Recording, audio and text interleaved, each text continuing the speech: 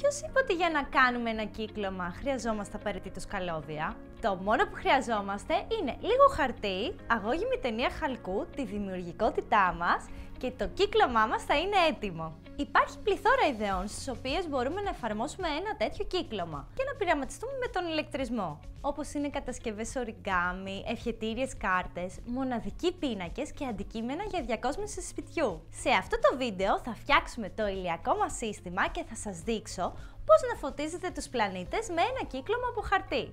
Ακούγεται συναρπαστικό; Πάμε να δούμε πώς μπορεί να γίνει. Τα υλικά που θα χρειαστούμε για αυτή την κατασκευή είναι ένα χρωματιστό χαρτόνι, εικόνες με τους πλανήτες του ηλιακού μας συστήματος, μία αγώγημη ταινία χαλκού, χρωματιστά λαμπάκια LED, στρογγυλές μπαταρίες του 3V, μία κόλλα, ένα ψαλίδι και ένα μαρκαδοράκι.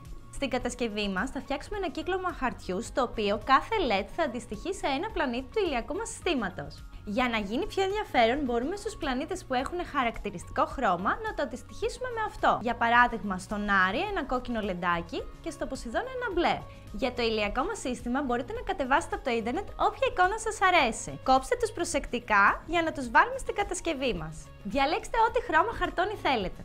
Εγώ διάλεξα ένα μπλε για να ταιριάζει με το διάστημα. Βεβαιωθείτε ότι υπάρχει αρκετός χώρος για το κύκλωμα και τα λαμπάκια που θα βάλουμε, γιατί θα είναι συνολικά 8, όσο και οι πλανήτες του ηλιακού μας συστήματος. Σε αυτό το σημείο μπορείτε να συμβουλευτείτε και το μάθημα του ηλιακού συστήματος από την ενότητα της αστρονομίας.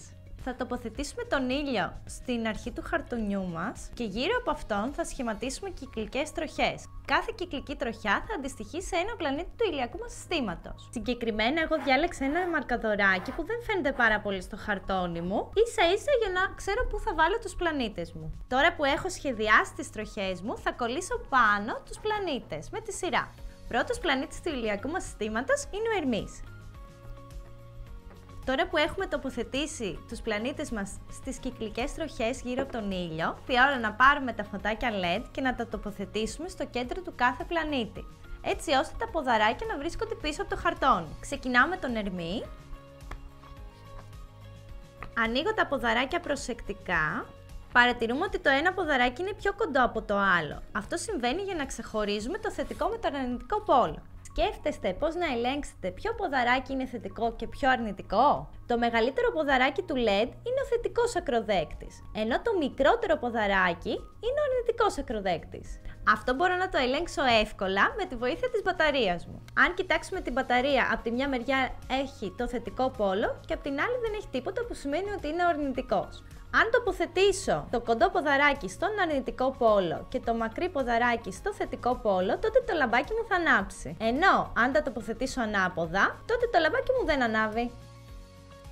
Τόσο εύκολα. Για να φτιάξουμε το ηλεκτρικό μας κύκλωμα, θα πρέπει να προεκτείνουμε τα ποδαράκια από το λαμπάκι στην μπαταρία. Αυτό μπορούμε να το πετύχουμε είτε με καλώδια, είτε με μία ταινία η οποία αποτελείται από ένα αγώγημο υλικό, το χαλκό.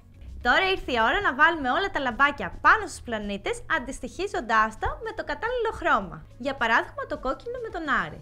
Αν δυσκολεύεστε να διαπεράσετε τα λεντάκια μέσα από το χαρτόνι, μπορείτε να κάνετε και μια μικρή τρυπούλα με το ψαλίδι. Μην ξεχάσετε να απλώσετε τα ποδαράκια κάθε φορά που τοποθετείτε το λεντάκι. Έχουμε τοποθετήσει όλα τα λεντάκια στους πλανήτες μας. Τώρα ήρθε η ώρα να φτιάξουμε το πρώτο μας ηλεκτρικό κύκλωμα. Θα χρησιμοποιήσουμε την ταινία χαλκού έτσι ώστε να προεκτείνουμε τα ποδαράκια από τα LED στην μπαταρία μας. Η ταινία χαλκού που έχω είναι αυτοκόλλητη και κόβεται πολύ εύκολα με το χέρι. Το θετικό ποδαράκι του LED θα πρέπει να ακουμπήσει με το θετικό πόλο της μπαταρίας μου, την οποία μπορώ να χρησιμοποιήσω και ζελοτέιπ για να τη στερεώσω και έπειτα θα ενώσω το κοντό ποδαράκι με τον αρνητικό πόλο της μπαταρίας χρησιμοποιώντας την ταινία χαλκού. Στο τελευταίο κομμάτι της ταινίας μου θα το διπλώσω στη μέση έτσι ώστε να μπορώ να δημιουργήσω ένα διακόπτη. Τώρα έφτιαξα το ηλεκτρικό μου κύκλωμα. Το σημείο που είναι διπλωμένη η ταινία θα λειτουργήσει ως διακόπτης που ανοιγοκλίνει το κύκλωμα.